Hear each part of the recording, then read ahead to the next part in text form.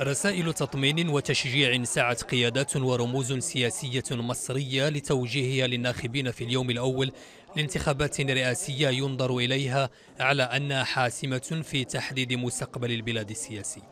أولى رسائل التطمين بعث بها الرئيس المؤقت عدلي منصور الذي تصدى للمهمة في مرحلة انتقالية صعبة في تاريخ البلاد. منصور دعا المصريين للتصويت بكثافة واعتبر الانتخابات خطوة نحو إعادة البناء. أنا بقول لكل مصري ومصرية انزلوا شاركوا في بناء مستقبل بلدكم. دي أول خطوة في البناء. آه، نبطل كلام ونبدأ العمل. بلدنا محتاجة كل جهد. المرشحان المتنافسان على الوصول لمنصب الرئيس وجه بدورهما رسائل مشابهة. انصبت على ضرورة الإقبال على التصويت. المرشح الأول والأوفر حظا عبد الفتاح السيسي قال إن المصريين يصنعون تاريخهم وتوقع السيسي إقبالا قويا على التصويت. المصريين نازلين عشان يكتبوا تاريخهم. يكتبوا تاريخهم. ويسطروا مستقبلهم. الدنيا كلها بتتفرج عليهم ويشوفوا إزاي المصريين هيعملوا التاريخ وهيعملوا المستقبل النهارده إن شاء الله. توقعات السيسي بكثافة التصويت بدت بعيدة إلى حد ما عن واقع عملية التصويت التي تسير بوتيرة دون المتوقع على الأقل في ساعتها الأولى.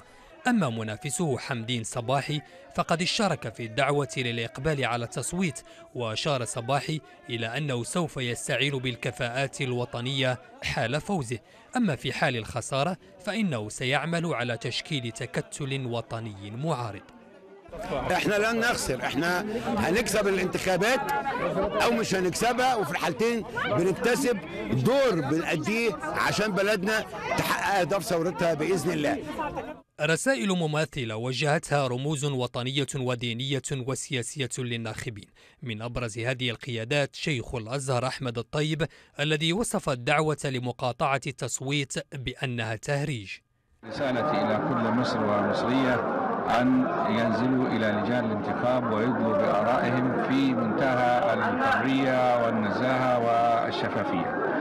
وأن لا يستمعوا إلى الفتاوى الشاذة المغرضة. بابا الإسكندرية وبطريرك الكرازة المرقسية توادرس الثاني كان حريصا على الإدلاء بصوته في الساعة الأولى من التصويت. واعتبر البابا أن الانتخابات فرصة طيبة لممارسة حق المواطنة دون تمييز بين المصريين. بدور اعتبر عمرو موسى أمين عام جامعة الدول العربية السابق هذه الانتخابات بداية لمرحلة الاستقرار والبناء.